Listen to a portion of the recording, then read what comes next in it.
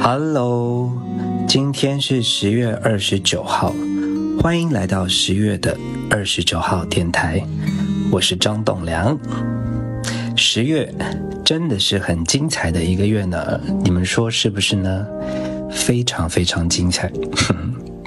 我记得上个月在录电台的时候，就一堆暗示告诉大家说新歌很快很快很快，睡一觉就可以听到。你们看看。是不是第二天就来预告了呢？然后就是各种操作，我画你猜，我比你猜。虽然说我还是有一点挫折感的，我觉得我画的挺好的呀，比的也挺好的呀，但是还是有一些朋友猜中了，集体孤独，耶。那一个月过去，不会就又催新歌了吧？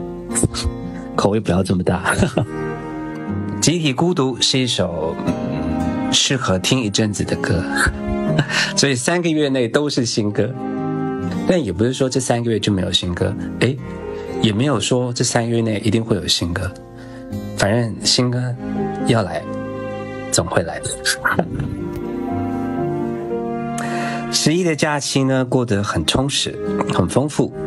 那跑了一些音乐节，我记得第一场是在遂宁吧，对。然后降落之后呢，就来了一场突击的久违的语音直播，呃。我记得那时候是要开两个多小时车程到遂宁吧？对，遂宁。我一开始一直念成遂宁，遂宁，后来被纠正是遂宁，所以现在就记住了。那遂宁这一场有什么有趣的呀？呃，音乐节我都玩的挺开心的，其实。然后哦，我记得这一场就是。有个小插曲，上次参加音乐节应该是八月份的时候，在杭州。那一次我真的记得那种湿热，那种燥热，你知道裤子很重的感觉，全身湿透，记忆深刻。九月份的时候，其实我们就订这场遂宁的服装在北京，然后北京那时候天气也开始转凉吧，也不至于冷，但是就凉。然后想说这个。这个衣服应该在遂宁，倒时应该是挺适合。结果，这个气候的变化真的是出乎意料。那天在台上还是有点小冷的，但是还好大家的热情，还有那天是集体孤独上线的第一天的兴奋感，让我就处在一种很火热的状态。然后晚上我们做了一场直播，很开心。遂宁是个好地方。十一假期的第二站呢，我们就到了晋城。晋 城也是个好地方，这应该是我第一次来到山西这个省份。嗯。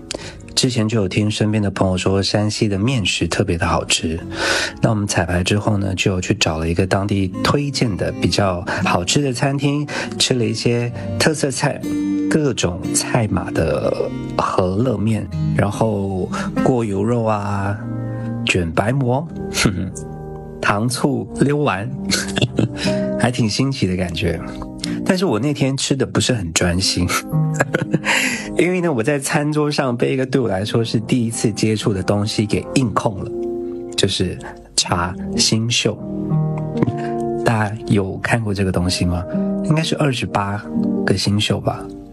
起因呢，是我有个朋友，他是山西人，然后呢，他那几天就刚好回家，就来探我们班，他就带了一本，应该是当地文旅做的一个解密二十八星宿性格的小册子，那里面有一个，里面有每一个星宿对应的小人物画的很好看，然后很可爱，然后我觉得画的也很像，比如说之后你对应的哪个星宿，我觉得这个人真的画的跟那个那个小册子里面画的那个神情很像。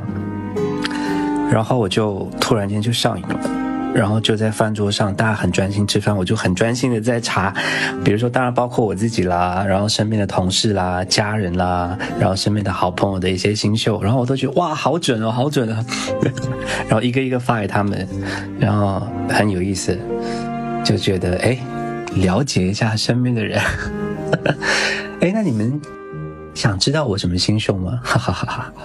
有机会再跟你们说，因为觉得，反正我觉得挺有意思的。我相信很多人应该都已经查过自己的星宿，我当天应该查了有至少二十个人吧。我真的觉得对应的都挺贴切的，至少跟我肉眼观察跟相处下来，然后那个星宿的一些解说啊，我觉得哇，这个东西有意思。然后晚饭结束之后呢，我们就去看了一个现场的打铁花。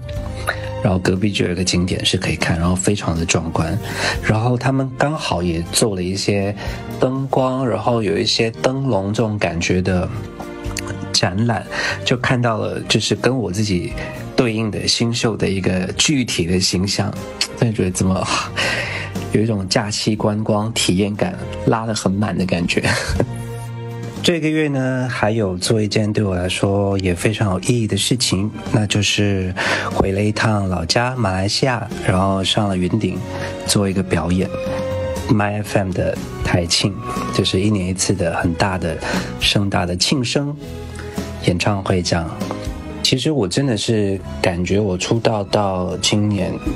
当然，中间他们没办的时候有有有一些年，那只要他们有办，其实比如说，我记得我去年是来不了，但是我还是有录了一段，就是 VCR 的角色扮演，就是有参与他们的一个剧情。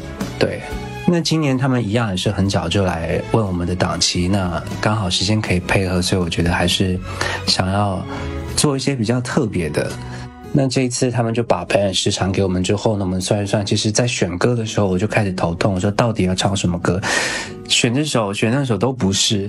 那后来我就突然间有一个想法，我说，哎，其实真的跟这个 My FM。已经看着我长大这么多年，其实，在这个舞台，如果做一件事情是做了十三分钟的串烧，它是有相对意义的。当然，也谢谢电台他们愿意去 support 我这样的一个想法。然后我们也在编曲上花了很多心思，花了很长时间去跟编曲老师，就是 Clement 合作过的一个马来西亚的音乐人，然后来来回回反复的核对了很多次，真的很不容易，要把这这么多歌。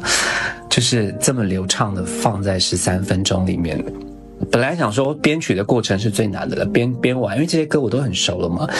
结果怎么知道那天彩排的时候才发现，哇，因为云顶它高海拔，本来就是大家通常在云顶办。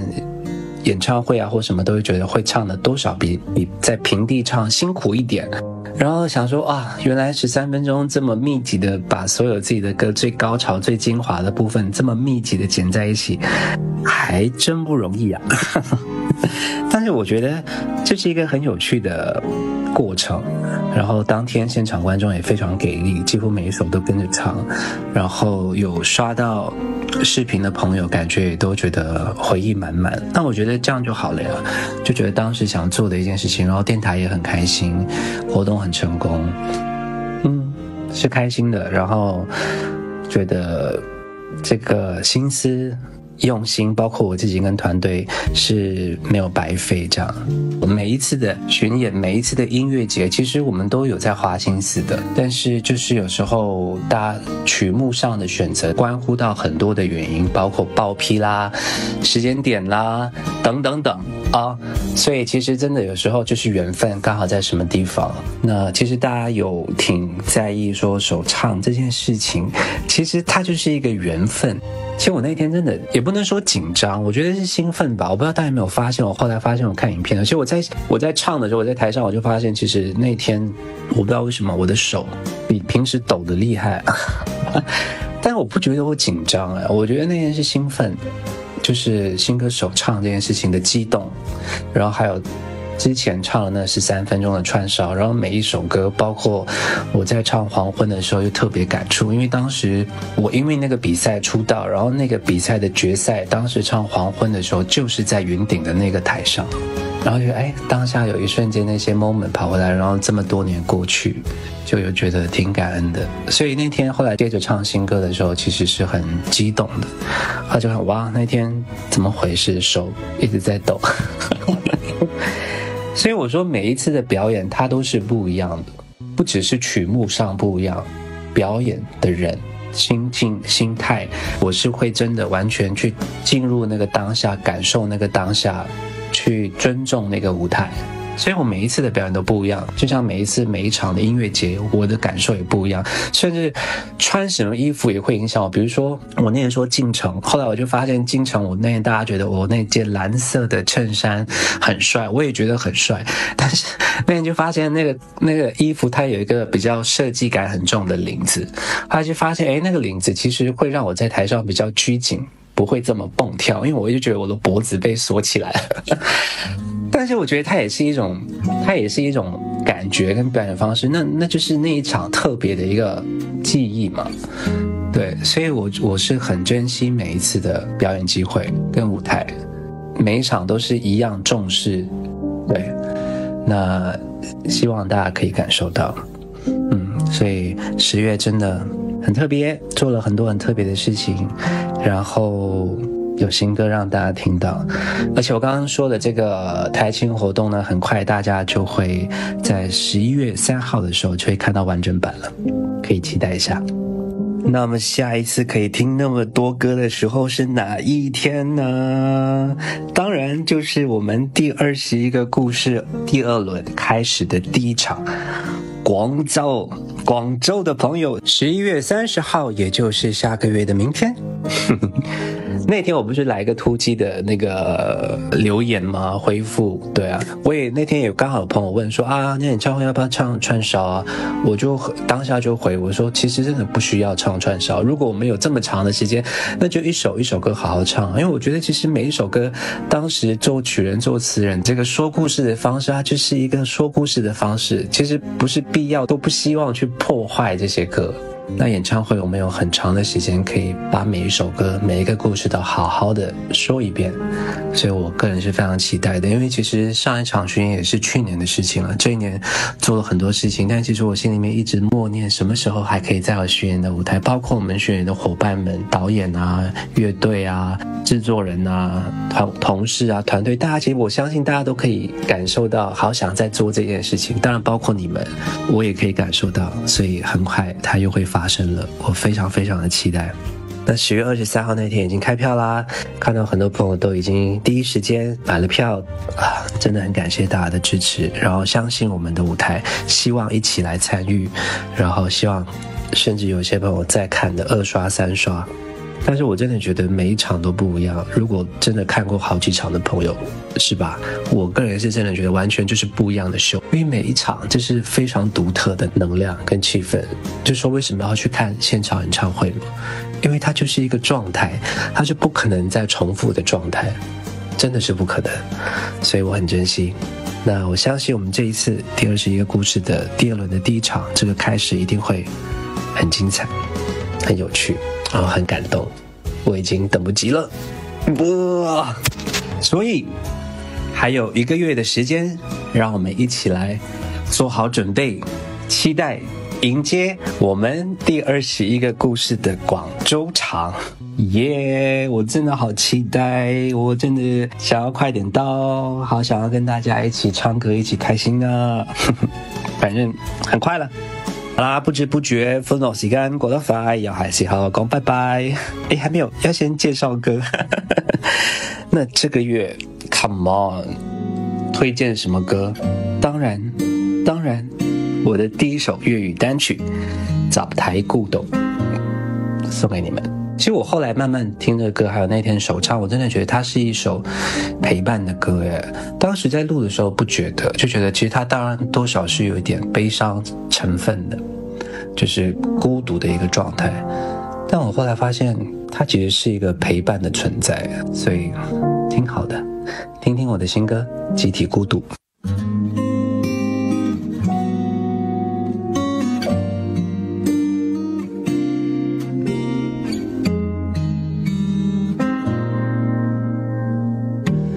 还想找个人接触，还想找个人痛哭。这座城市里，谁喝醉，谁人看似唏嘘。还想找个人抱紧，甚至爱到好好亲吻爱人没碰到，可能糟糕，沉默中谁？百万人在孤单，没人愿分担。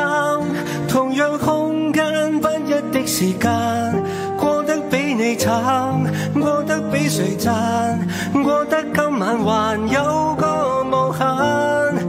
几百万人极伤心，又忘掉欢欣，日日迎面不经不觉，始终太独身，没有人换眼神。一些笑话，谁愿花心思插花？谁愿替他找个家来出嫁？受伤一个人结疤，祈痛嗌到声沙，想某个人来抱抱，不迟不早。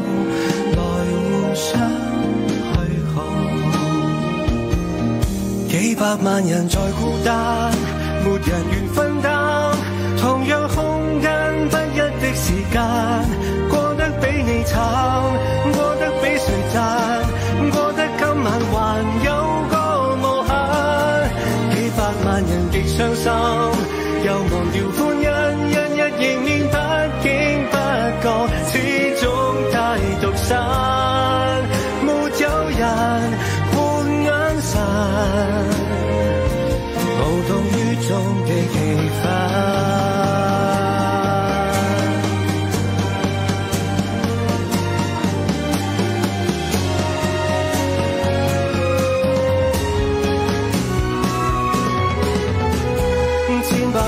在孤单，没人愿支撑，站在同样空间，不规则时间，过得比你惨，过得比谁赞，陌生感觉难以再推翻。千百万人亦伤心，没人来问问，日日迎面。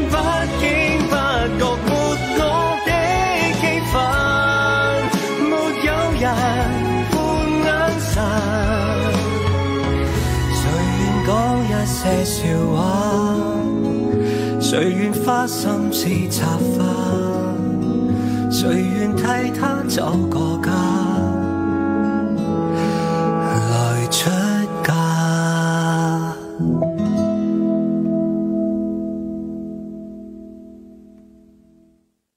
欢乐时光过得快，又系时候讲拜拜。呢次真系拜拜啦，好嘅事情正在发生。我继续努力，我继续努力。那最好的很快就要发生啦，我们一起期待下来更精彩的二零二四年年末吧。今天的二十九号电台就到这里喽，集体下班。哎，我发现最近大家开始说我班味很重，其实我，我觉得上班下班事情对我来说就是一个有趣的说法嘛。我其实尤其是表演的时候是很开心的。录电台我也觉得挺好的，一个月一次刚好。然后其实每个月可以跟大家分享一些自己的心情，说说话也很开心。有这么多朋友在期待一个月一次的电台，所以我会继续。然后也谢谢你们不嫌弃。那今天就先跟你们哈拉到这里吧，我们下个月二十九号电台再见。然后就是广州演唱会了，yes，拜拜。